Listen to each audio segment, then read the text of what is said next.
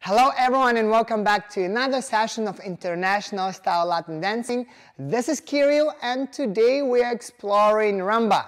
I will show you a very small and very compact rumba routine that will allow you to develop and get the real feeling of the hip action or the Cuban motion.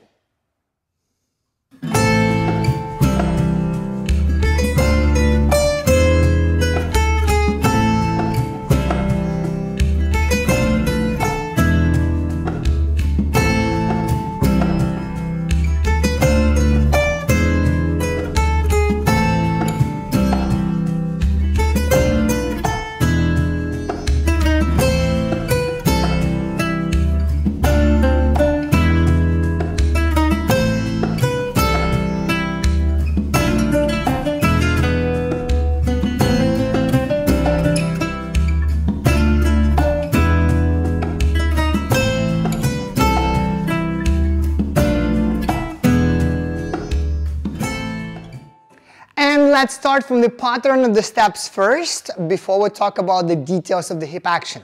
I intentionally have chosen kind of side actions, mainly lateral actions, because that what helps our hips a little bit more. Going forward back, we'll probably do in the subsequent tutorials when we talk about, again, rumba, maybe some technical aspects, or maybe even some more advanced rumba routine. Okay? So the movements that we have here are the time step, spot turn, side steps, and cucarachas. That's it. Now, I'm gonna show you pattern very, very slowly without technique, and then you can follow, and then we're gonna add the details.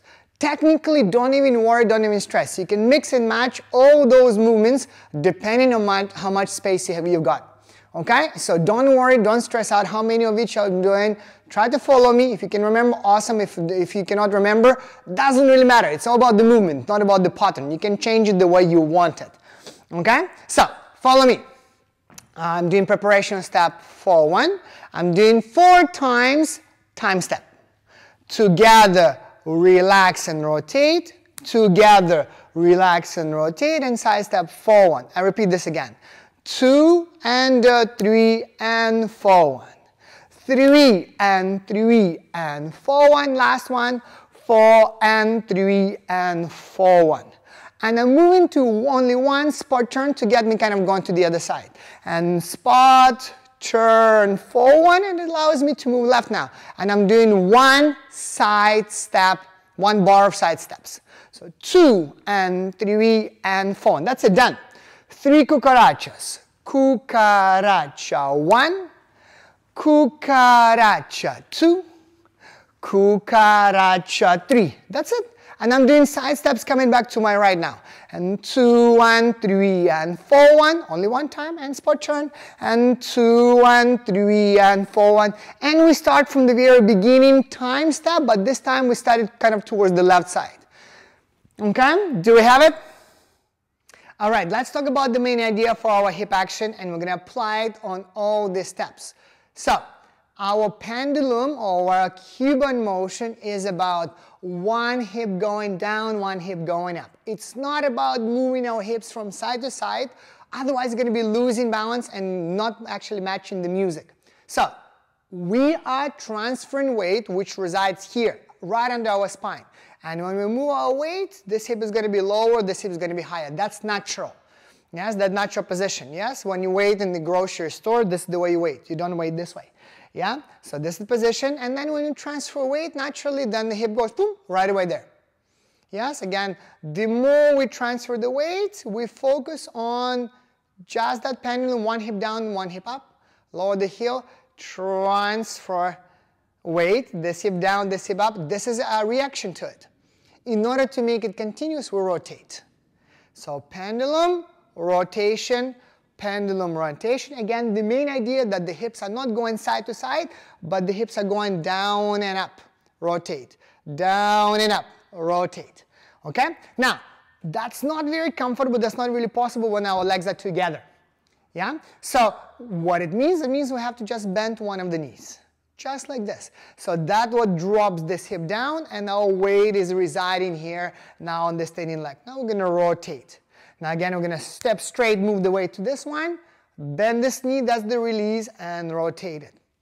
And all we have to do now is just make sure that we match the music. So we're gonna go two and three and two, release, rotate, ta, release, rotate, step, release, rotate, step, release, rotate. The same idea. If you notice, I'm not trying to move my hips and losing balance. I'm just trying to step and release. So this kind of movement here, rotate. Step, release, step, release, uh, rotate. Step, release, rotate. That's it. Now we have to apply on every figure of our routine the same idea, okay? Please follow me. All right, here's how we're gonna apply it on our steps. We start neutral. Because of this knee being bent, this hip is going down, this is go going up. We rotate and we go side step forward. And if you notice, we arrive, this hip is higher, this hip is lower, just because of the weight movement. We rotate and step, release this knee, this hip goes down, this hip is up, we rotate. Step, both knees straight, this is down, this is up, we rotate and forward. So every time we step, one of the hips going to be going down, one is up. And two and three and four one. Couple more, two and three and four one, two and three and four one. Spot turn, same idea. And this hip is still up. Now, but then when I move, this is turning, this hip goes up, this is down. And three and four one. Up and down all the time. Side steps. Straight, release, rotate. Side and four, one. Cucaracha, same idea. Step. This is the position. Now this goes down, this goes up. And three. And four, bend the knee. And two. And three. And four, release, rotate. Two. And three. And four. And one. And side and three and four. One spot turn again and two and three and four. One. And we start from very beginning and step, release, rotate. Step, release, rotate. Step, release, rotate. That's the idea. That's the main idea for our routine. Hip goes down, hip goes up, and that what enhances the movement. The worst thing can happen, people just walking straight. So do it slowly, but focus mainly on one is down, one is up.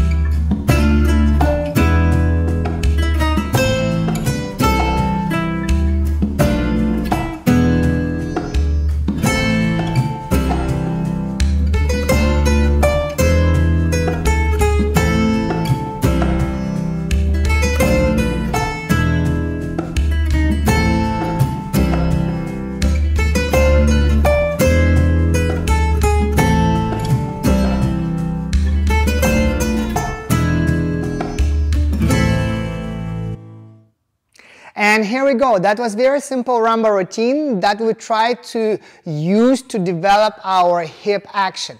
Please try to practice it. Please do it very, very slowly and do not worry about the pattern of the steps. Just focus on making sure that every time you step, one hip is down, one hip is up, and then you're rotating. That will give you much more weighted, much more stronger, much more heavier hip action. And that's what we are after, and that's what we're trying to match to the music that, that, that is playing.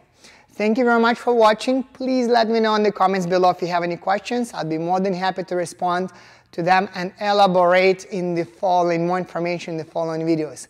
Please subscribe it, like it, share it, and I'll be seeing you next time. Thank you. Bye now.